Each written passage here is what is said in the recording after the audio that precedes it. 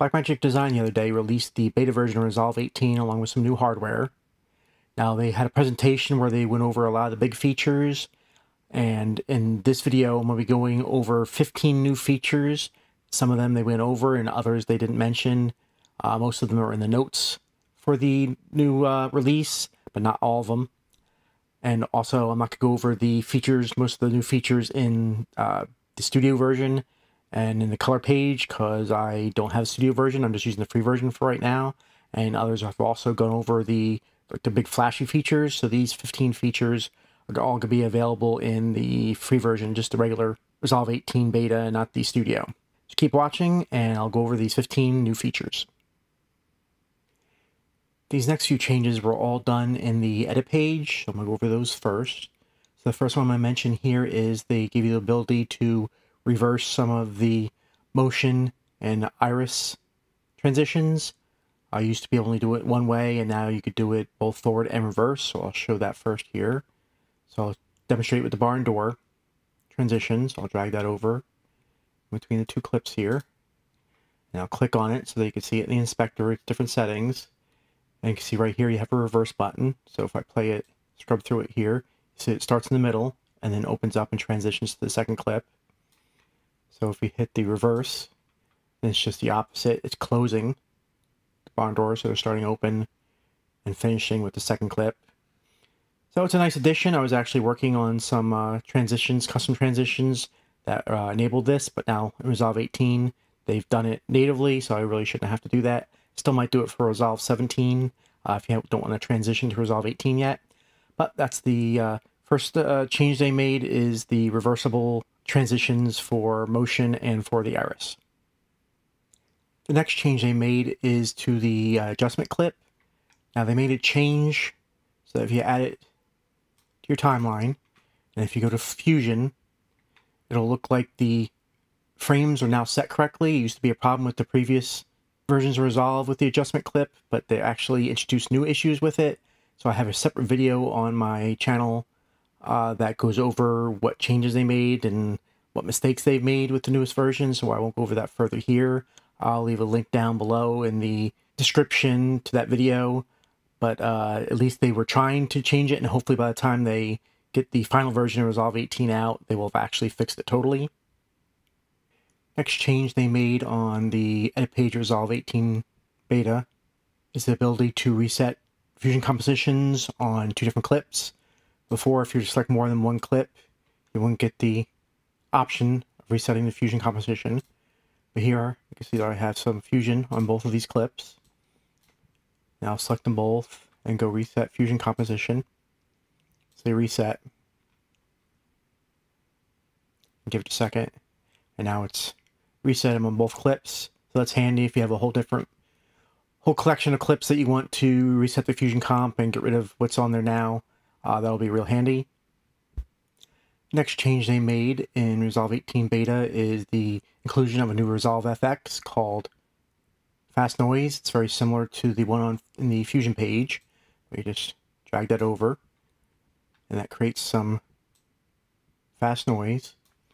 So you come over to the effects tab on the inspector and you can change different presets. So here you do a mist. So it's just very fine, very subtle. smoke's a little more in your face here, a little more noticeable. And you can see it kind of drifting along like it would be a, a bill of smoke. And you could change the different individual parameters. But that's a, uh, for, it's a nice thing to add to the edit page so you don't have to go to Fusion to add these kind of effects if you just want to kind of uh, quickly do it on the edit page. And it should also be a little bit faster than doing it in the Fusion page. Another change they made is to the edge detect effects on the edit page. So you come over here to resolve FX stylize. You have edge detect. So you drag that to a clip. And again, come over to the effects panel here on the inspector. Now, one of the changes they made here is if you come to filters, you have the ability to do half edges only. So here you can see it does everything fully. You come here, you keep the light side, keep the dark side, and you can just kind of mess with all these different parameters and get the effect you want.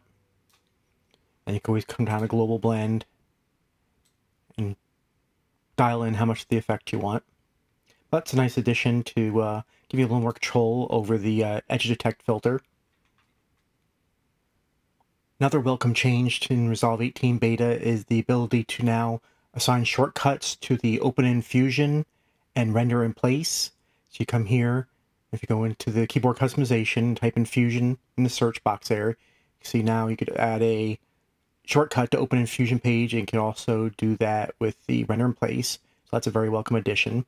Even though everything changed in this Resolve beta isn't major, they are welcome changes. One very welcome change they made in the new beta Resolve 18 is they've done quite a revamp on the subtitles. So before you could come in here and add subtitle track, then you can right click and add a subtitle. But now you can have simultaneous subtitles by enabling a new feature called Add Subtitle Region.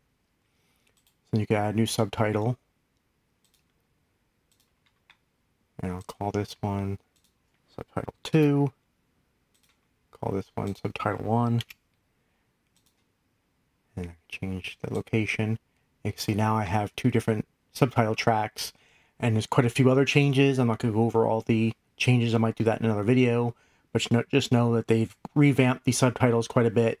And it's really something probably worth getting uh, to know how they uh, changed it and how you could use it. But it is a definite welcome change. Next few changes are going to be focused on what they did in the Fusion page. One of the things they've done is allowed like kind of live preview of color changes in both text, background nodes, and paint, pretty much anything where you use a color picker. So here I come over to the color picker, left click on it and choose it. Now if I change the colors here, you can see them changing live in the viewers there. So we pick a different color. But the same thing's to be for background. So I'll put that in the second viewer here. I come over here to the color picker, brighten up here, and I can change the color live. Change to this green here. And then the same thing with paint. So I can go over to paint. I can paint a stroke here.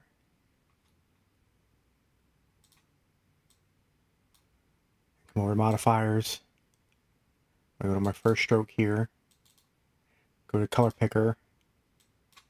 And I could do a live change of the color. So that's very handy so you could see it actually in the viewer and not just have to see it on the color picker and guess how it's going to look in your composition. So that is a pretty welcome change.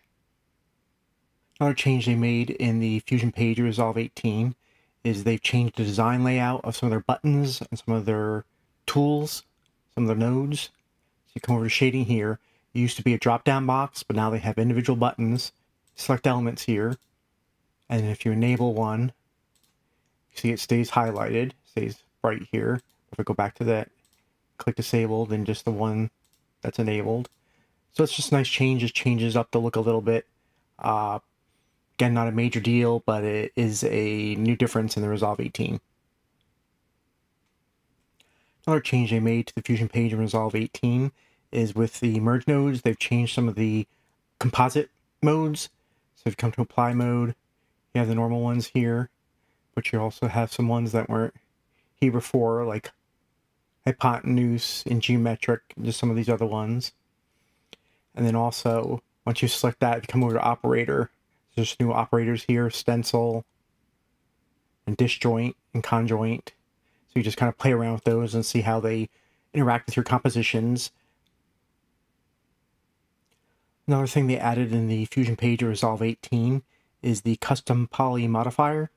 So if you have a polygon either in, as a mask or a, from the paint node, if you then come over to the inspector and right click where it says right click here for shape animation, you'll be able to insert and it's the custom poly, source polyline custom poly here.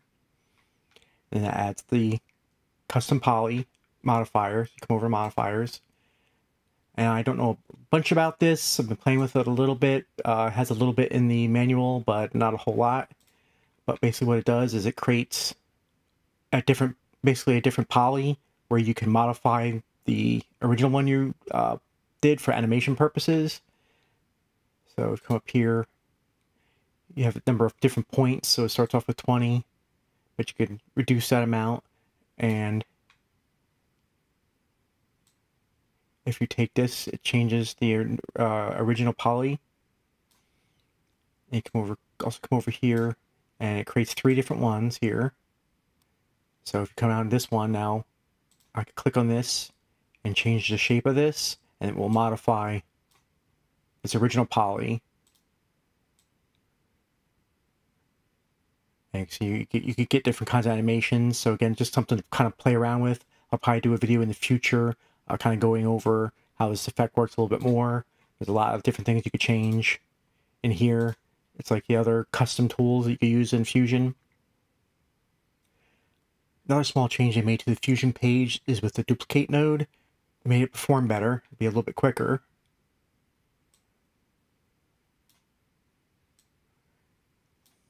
So it's a little more performant. And they've also added both blur and glow. So you blur it, you can make it glow. So some small changes, but I'm sure you can find some uses for it. Every change isn't going to be a major change, but it is nice that they're at least thinking about the Fusion page. Another change they made in Resolve 18 beta is the ability, uh, they made it easier to save your default settings for your projects. So basically, uh, before you have any kind of uh, timeline open, you come down and open up your project settings here. Now, you ha always have the ability to use presets and set up for different, if you have different resolutions you want to work in, if you have different frame rates by default, and all those different settings. But it was a little more of a hassle to go in here, set up your master settings, and then come up to preset and save as and save it and everything. But now they've made it pretty easy that you just set up all your different settings here. So I have it set here for projects for uh, 2560 by 1440 for particular usage case, uh, frame rate of 30 frames per second, have my video monitoring set up the way I want it. Uh, they don't have a 1440, but 1080p 30 is fine for viewing it for my uses. And you also have the ability to set up your proxy media resolution and format. Same thing with optimized media and your render cache and all these different settings you could set up. And once you have that all set up the way you want, instead of having to go up to presets and saving it, just come up to the three dots menu in the upper right here, click on that, and just set say set current settings as default preset. It'll say, are you sure? Just say yes or update, and then it'll update it. So whenever you start Resolve and start off with a project, it'll use these settings, and then you can go to your other presets if it's something that you're not usually using.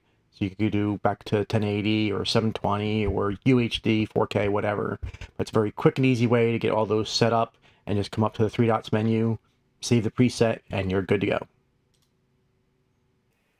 The last change I'm going to go over that's actually in the app for Resolve 18 Beta is under Deliver tab. And come over here and go to individual clips. If you want to render out the uh, timeline effects, uh, it's been much requested on the message boards for Resolve. The ability to actually kind of bake in the effects. Well, they now give you that ability, both audio and fusion effects. You just check this box right here, render timeline effects. Now I'm actually going to put a separate video for that on my channel but that is a welcome addition uh, to Resolve 18 Beta. The final change I'm going to go over with Resolve 18 Beta is the inclusion of the Blackmagic proxy generator. Now, the studio version gets the full version, but the free version gets the proxy generator Lite. So if you go under Blackmagic Design under your start menu and click on that, that'll bring up the proxy generator. And then you can just basically have it select a folder that you wanted to watch, and then anything added to that folder, it'll create proxies for, and you could choose from three different formats here, at least on my system. I have two different H264s, one H265, and then it'll automatically generate the proxy files for you. Again, that's a nice, nice addition to Resolve 18. So that was 15 changes they made in Resolve 18 beta. Some were larger than others, uh, but they're all welcome. Uh, hopefully they'll refine them and maybe add some more features uh, in the coming weeks before they go final, probably sometime in, I'd say probably like July in a few months. So hopefully you found this video useful, and I thank you for watching.